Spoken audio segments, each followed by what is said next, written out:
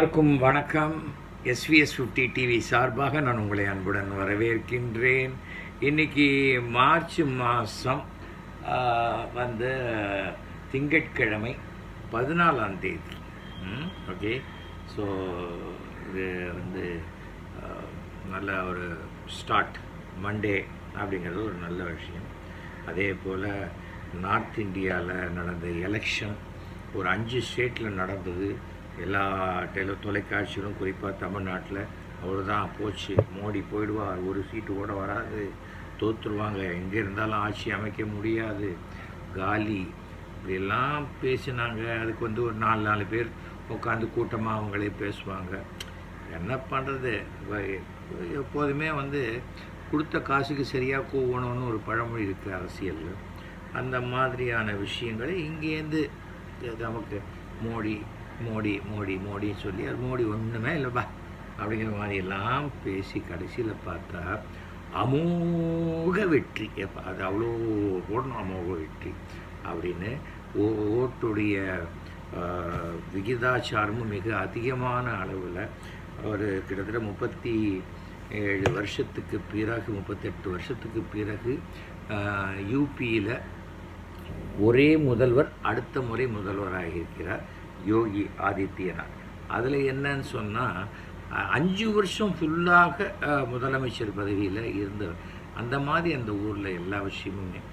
எப்படி ஒரு சாமியாரெலாம் வந்து ஆட்சி பண்ணிட முடியுமான்லாம் கேட்ட இடத்துல அவர் வந்து இந்த ஜாதி மத அரசியலுக்கெல்லாம் அப்பாற்பட்டு அதாவது ஜாதி மத அரசியல் பண்ணுறவங்க அப்படிங்கிறது வந்து என்னன்னு சொன்னால் அவங்க வந்து இந்தியாவிலேயே வந்து மத சார்பின்மை என்பதை இந்துக்களுக்கு எதிரான ஒரு விஷயமாகவே சொல்கிறது தான் மதசார்பின்மை.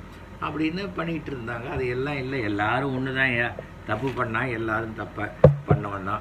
அவனுக்கு தண்டனை உண்டு. அது யாராக இருந்தான்னு அப்படிங்கிற மாதிரியான ஒரு விஷயத்தை கொண்டு வந்தாங்க. இதுக்கு நடுவில் அந்த விவசாயிகள் போராட்டத்தெல்லாம் பெருசாக்கி இதோட காலி. யோகின்னாங்க அதெல்லாம் ஒன்றுமே நடக்கலை. கடைசியில் பார்த்தா யூபி உத்தரகாண்ட் கோவா மணிப்பூர் எல்லா இடத்துலையும் வந்து பஞ்சாபில் பாரதிய ஜனதாவுக்கு என்று அடிப்படையான ஒரு இது இல்லை. அந்த இடத்துல வந்து ஆம் ஆத்மி. ரொம்ப இதுவாக போச்சு. ஆனால் ஆம் ஆத்மியினுடைய தலைமை கெஜ்ரிவால் சொல்கிற பேச்சு அங்கே இருக்கிறவங்க கேட்பாங்களாங்கிறதெல்லாம் அடுத்தது. அதை பற்றி நமக்கு என்ன? ஆனால் வெற்றி வெற்றி வெற்றி தான் அதில் ரொம்ப சந்தோஷமான விஷயம். அங்கே முதலமைச்சராக வரப்போகிறவர் அவர் வந்து is stand up comedian on stage அப்படி இருந்தவர். அவர் அவர் அவர் எப்போதுமே தலைமையை கேட்டு எப்போ பண்ணலாம் என்ன பண்ணலாம்லாம் சொல்லுவாங்க. ஆனால் அவர் நேரடியாக நான் பிறந்த கிராமத்தில் தான் இங்கே பதவியேற்பு விழா அப்படின்னு அனௌன்ஸ் பண்ணியிருக்காரு. பட் அதெல்லாம் சில சமயம் தலைமை புத்திசாலித்தனமாக இருந்தால் அதையெல்லாம் பொருட்படுத்தாமல் நம்ம கட்சியை வளர்க்கணும்னு நினைப்பாங்க. நான் தான் பெரியவன் அப்படிங்கிற மாதிரி ஆங்கிளில் வரும்போது சிலது அடிபடத்தான் செய்யும். ஸோ அவர்களுக்கும் வாழ்த்துக்களை நம்ம தெரிவிச்சுக்கணும். இதெல்லாம் பகுஜன் சமாஜ் எல்லாம் காணாது போச்சு. கிட்டத்தட்ட யூபியில் வந்து இந்த ஏழு ஆண்டுகளுக்கு பிறகும் இந்தியாவில் மோடியினுடைய அலை என்பது குறையவில்லை என்பதை இந்தியாவுக்கு உணர்த்திருக்கு அதை தமிழ்நாட்டில் இருக்கிறவங்களும் உணரக்கூடிய காலம் விரைவில் வரும்னு வச்சுக்கோங்களேன். தமிழ்நாட்டில் உணர்ந்திருக்காங்க. அதை வந்து உணர விடாமல் தடுக்கக்கூடிய சில சக்திகள் எல்லாம் இருக்கிறது. அப்புறம் வந்து நோட்டாவுக்கு கீழே ஓட்டு நோட்டாவுக்கு கீழே ஓட்டு நோட்டாவே கிட்ட தோற்று போச்சுலாம் சொன்னது. இப்போ கம்யூனிஸ்ட்டும் நோட்டாவுக்கு கீழே வந்து தோற்று போச்சு இனிமேல் கம்யூனிஸ்ட் வாயே திறக்க முடியாதபடியான சூழ்நிலை ஆகி இருக்கிறது ரா- ராகுல் காந்தியுடைய சகோதரி பிரியங்கா காந்தி சுமார் இரநூத்தி எழுபத்தஞ்சி இடத்துல ரோட் ஷோ பண்ணி பிரம்மாண்டமான மீட்டிங் எல்லாம் போட்டு போட்டு போட்டு போட்டு அடுத்த ஆட்சியை நாம தான் அப்படிங்கிற அளவுக்கு பேசி ரெண்டே ரெண்டு சீட்டு தான் ஒரு மாதிரி இழுபறியெலாம் வாங்கியிருக்காங்க. இது வந்து மிகப்பெரிய தோல்வி. முன்னாடியே காந்தி சொன்னார் சுதந்திரம் வந்தோடனே காங்கிரஸுக்கு வேலை முடிஞ்சு போச்சு காங்கிரஸை கலைச்சிடலான்னு சொன்னார் அப்போ செய்யலை. கொள்ளு தாத்தா கிட்ட சொன்னதை கொள்ளு பேர பரம்பரை நிறைவேற்றி விடுங்கிற நம்பிக்கை இருக்கிறது. ஆனால் அப்போ இருக்கிற அப்போ இருந்த காங்கிரஸ் வேறு இப்போ இருக்கிறது காங்கிரஸ் வேறன்னு வச்சுக்கோங்களேன். ஆனால் காங்கிரஸ்ங்கிறது எனக்கு இன்றைக்கி ஒரு விஷயம் புரியல க எலெக்ஷனுடைய தேர்தல் நடக்கக்கூடிய இடத்துல எந்த சின்னத்தையும் நீங்கள் எடுத்துன்னு போகக்கூடாதுங்கிறாங்க. இப்படி ஒரு சின்னத்தை வச்சு அந்த சின்ன கை இல்லாத எல்லோரும் உள்ளே போக முடியுமா? இல்லை கைக்கு எல்லோரும் க்ளவுஸ் போட்டுட்டு போகிறாங்க முதல்ல அதெல்லாம் சில விஷயங்கள் பார்க்கப்பட வேண்டும். மோடி என்பது அந்த பெயர் அவர் இருக்கிற வரைக்கும் இந்தியாவில் அதுதான் முதன்மையான பெயராக இன்றைக்கி ஜெயிச்சிருக்காங்க பாரதிய ஜனதான்னா சாதாரணமான விஷயமாக ஜெயிக்கல நேர்மையான ஆட்சி அதே சமயம் வந்து திட்டமிட்டபடி செய்யக்கூடிய விஷயங்கள் எல்லாமே. ராமர் கோவிலுங்கிறது இந்தியாவில் நடக்கவே நடக்காதுன்னு சவால் விட்டவங்கெல்லாம் இன்றைக்கி அந்த இடத்துல ராமர் கோவில் வருதுன்னா ஜெய் ஸ்ரீராம் தான் நிறைய பேர் போட்டிருக்காங்க. அந்த மாதிரியாக மிகப்பெரிய ஒரு ஒரு பார்வை. எல்லாமே ரொம்ப சிறப்பான ஒரு விஷயம். யூபின்னாலே ரொம்ப மோசமான இடம்னு முன்னாடிலாம் சொல்லுவாங்க. பீகார் யூபி அதெல்லாம் தாண்டி இன்றைக்கி வந்து அதுக்கு மாயாவதி எல்லாம் ஒன்றுமே என்ன ஆச்சுன்னே தெரியாத மாதிரி ஆயிடுச்சுன்னு வச்சுக்கோங்களேன். அகில அகிலேஷ் யாதவுக்கெல்லாம் ஒரு நல்ல ஒரு பெரிய இது. அவர் பார்லிமெண்ட் எம்பியாகவும் இருக்கிறார்னு நினைக்கிறேன். அவர் அது அதை அதை விட்டுட்டு தான் இதில் வந்து எதிர்கட்சி தலைவருங்கிறது ஒரு சீஃப் மினிஸ்டருக்கு ஒரு ஈக்குவலான ஒரு ஒரு புரோட்டோக்கால் உள்ள ஒரு இடம் எப்போதுமே. இன்னொன்று வந்து காங்கிரஸுக்கு ராஜ்யசபாவில் எதிர்கட்சிங்கிற அந்தஸ்து போயிடும். இனிமேல் இந்த இந்த தேர்தல் முடிவுகள் வந்த பிறகு அது போயிடும். அது என்ன பண்ண முடியும் சொல்லுங்கள் இதில் ஒரு நல்ல கார்ட்டூன் போட்டிருந்தாங்க. ஒரு தொடப்பம் தொடப்பம் தானே நம்மளுடைய ஆம் ஆத்மி கட்சி கெஜ்ரிவால் ஒருத்த ஒரு லேடி வந்து ஒரு கிட்ட பெரிய காங்கிரஸ் சின்னத்தை தொடப்பத்தால் பெருக்கிடுவாங்க. அது அது கோலம் போட்டிருப்பாங்க. அது ஃபுல்லாக போய் வாஷ் அவுட் ஆன மாதிரி ஒரு நிஜமாக ஒரு ஃபோ ஃபோட்டோ வந்தது. இதுக்காக எடுத்தாங்களா? இல்லை அது தற்செயலாக எடுக்கப்பட்டதான்னு தெரியல.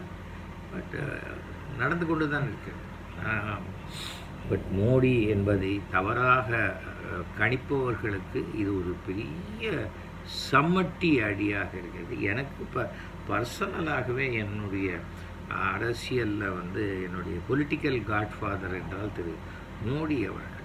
தமிழ்நாட்டு பாஜகவில் என்ன கவனிக்கிறாங்க? கவனிக்கலை என்ன பயன்படுத்திக்கிறாங்க? பயன்படுத்திக்கல அதை பற்றியெல்லாம் நான் கவலைப்படேன் மோடி என்ன நண்பரே என்று அழைத்தவர். அந்த அளவுக்கு நம்ம மேலே ஒரு மிகப்பெரிய அன்புடன் இருப்பவர். ஏனென்றால் மோடி அவர்கள்கிட்ட என்னை அறிமுகப்படுத்தியது என்னுடைய மானசீக குரு திரு சோ அவர்கள். அதனால் நாம் யார் வழியாக அறிமுகப்படுத்துகிறோம் படுத்தப்படுகிறோம் என்பது ரொம்ப ஒரு முக்கியமான ஒரு விஷயம். அப்படி ஒரு என் வாழ்க்கையில் கிடைச்ச மிகப்பெரிய கௌரவம்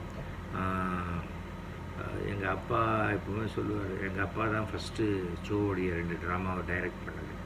அப்புறம் சோவுக்கு மடிசார் புடவை கட்டி விடுறதுக்கு எங்கள் அப்பா.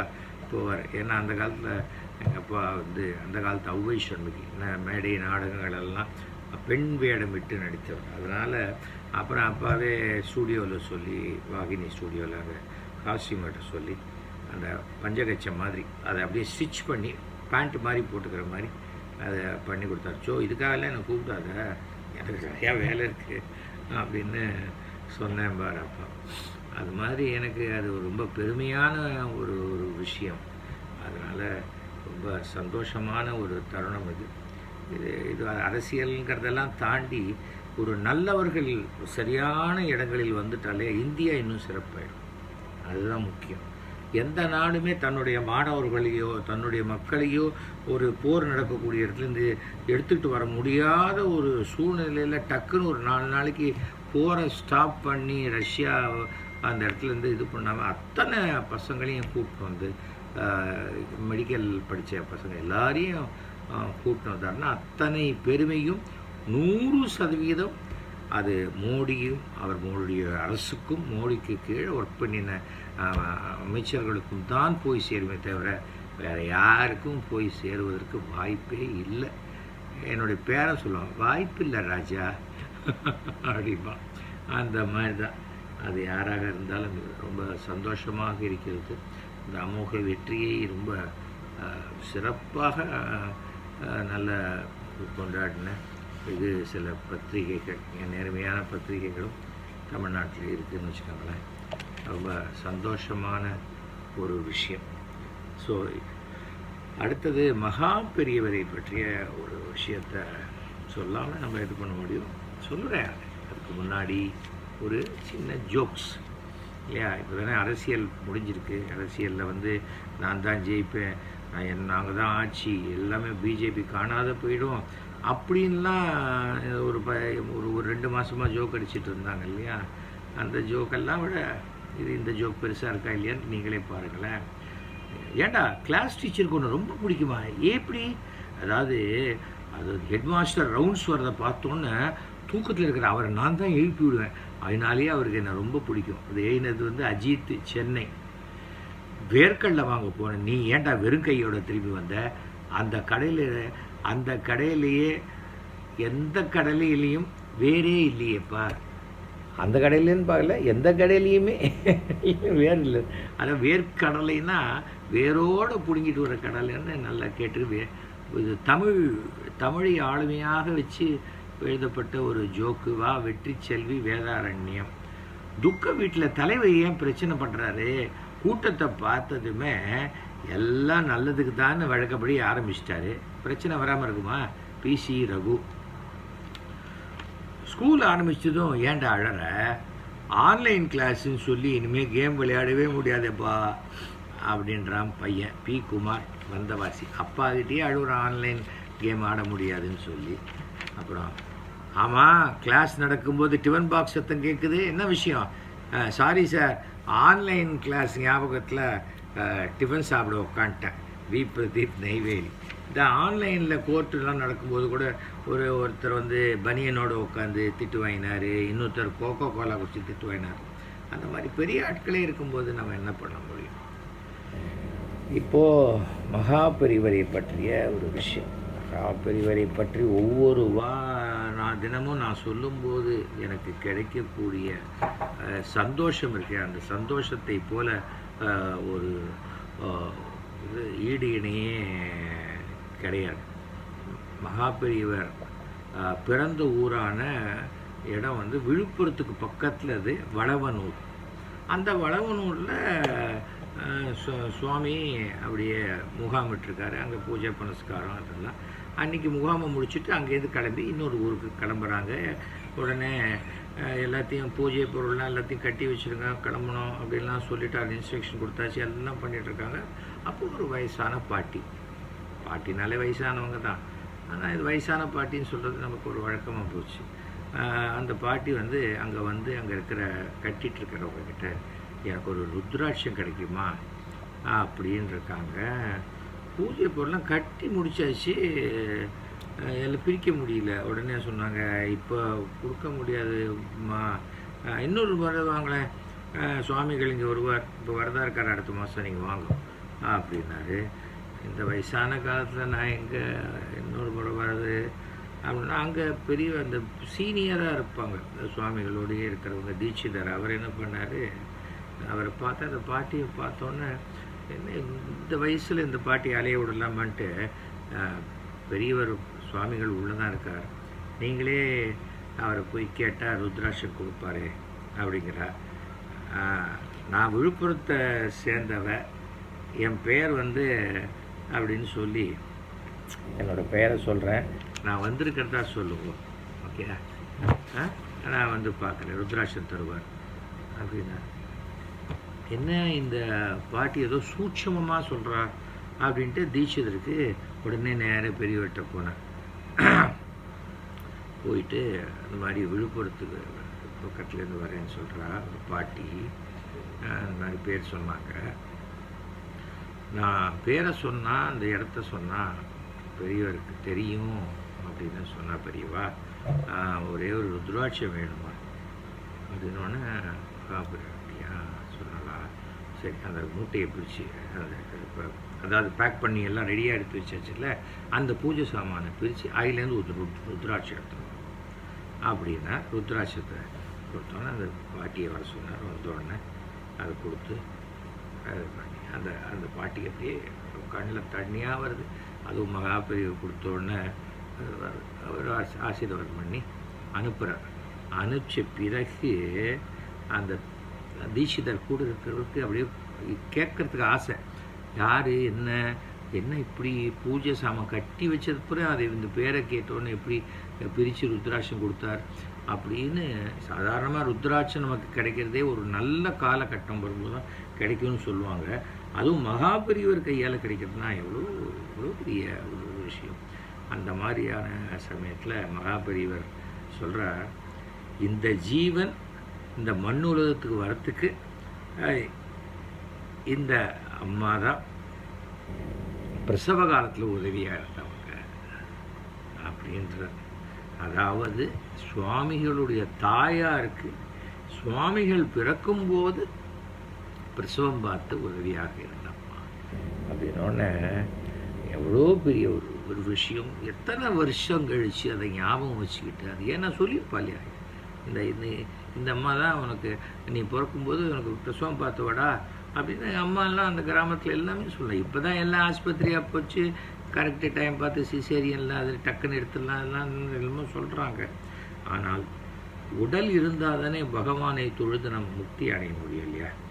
அந்த உடலை பெற்றவருக்கு அதற்கு பிறக்கிறதுக்கு அது உதவியாக இருந்தவருக்கு நான் வந்து நம்ம நன்றி செலுத்த வேண்டாமா? அப்படிங்கிறது மகாபீர் அவ்வளோ இதுவாக உணர்த்துறாரு நான் எவ்வளோ பெரிய விஷயம். சாதாரணமாக போன வாரம் பார்த்தவங்களே இன்றைக்கி நான் மறந்து போயிடுது போன வாரம் பார்த்தவங்க இல்லை. நமக்கு கஷ்ட காலத்தில் உதவி செஞ்சவங்களையும் மறந்து போகிறோம்னா அது அந்த மாதிரியான சூழ்நிலையில் நாம் நாடு இருக்குது நாம் இருக்கோம். அப்படி இருக்கக்கூடாதுங்கிறதுக்காகவே மகாபெரியவருடைய ஒவ்வொரு விஷயமும் அடடா இந்த மாதிரி நாம் இருக்கலாமே. இந்த மாதிரி இருந்தால் நல்லா இருக்குமே. இருந்தால் அந்த மாதிரி ஒவ்வொரு ஒரு வினாடியும் மகாபெரியவருடைய செயல்பாடுகள் நம்மளை அப்படியே புல்லரிக்க வைக்கிறது ரொம்ப சந்தோஷமாக இருக்குது சொல்கிறதுக்கு ஸோ யாராவது எங்கிட்ட ஃபோன் பண்ணி பேசணுன்னா nine eight four one zero two three five four five கூப்பிடுங்க. அப்புறம் இந்த ட்ரஸ்ட்டுக்கு ஃபஸ்ட் வீக் வந்துருச்சு. ட்ரஸ்ட்டுக்கு டொனேட் பண்ண டொனேஷன்லாம் வந்துட்டுருக்கு டொனேஷன் அனுப்பணும். அதை பற்றி டீட்டெயில்ஸ் வேணுங்கிறவங்க தயவு செய்து நீங்கள் Mylapore MLA at Gmail dot காம்க்கு கேளுங்க. நான் டீட்டெயில்ஸ்லாம் தரேன். ஓகே மீண்டும் சந்திப்போம். நன்றி வணக்கம். ஜெய் ஹிந்த்.